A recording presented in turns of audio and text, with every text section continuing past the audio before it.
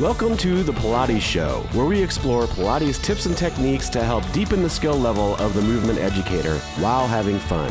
Hi, I'm Jen Gianni, and Alice is with me again to demonstrate a very hard exercise. She's not happy about this, but I'm gonna give her a lot of help.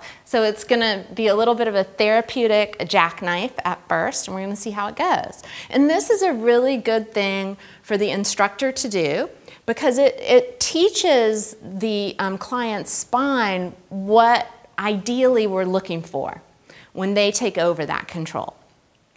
All right, so Alice, the back of the head, the tops of the shoulders are anchored. She brings the knees into the chest, the legs lengthen. So from here, not putting any weight into the neck, she's gonna go into plow.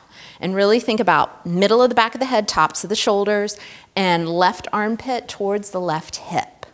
Good, and then she's gonna rise up into her beautiful jackknife position, trying to keep her heels over her hips as much as possible. Now I got her feet and she's gonna roll down and I'm thinking about my body mechanics here as she goes down one segment at a time and this gives her the ability to really concentrate on keeping the back of the head and the tops of the shoulders down, right?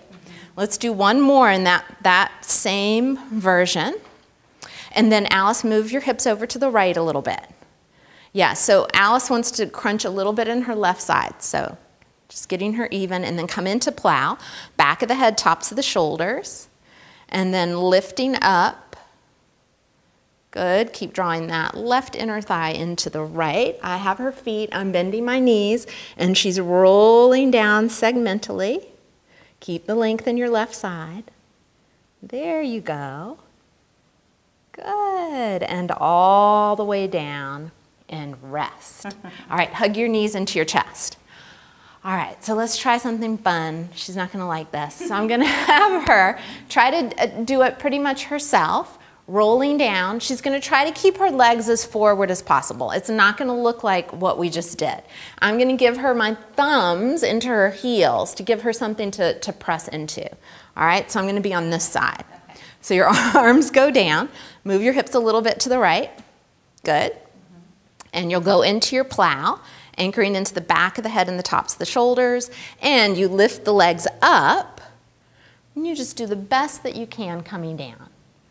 Right? Keep the head anchored. I'm just giving her a little bit of a tactile feedback on your heels. That was good. That was much better. Feel good? Mm-hmm. Okay, hug your knees. All right, thanks. Let us know if you have any questions. That's it for today. If you have a different take on today's subject or if there's anything you'd like to see covered in an upcoming episode, we'd love to hear from you. Comment below on Facebook, Twitter, or in the forum at fusionpilatesedu.com. See you next time and never stop learning.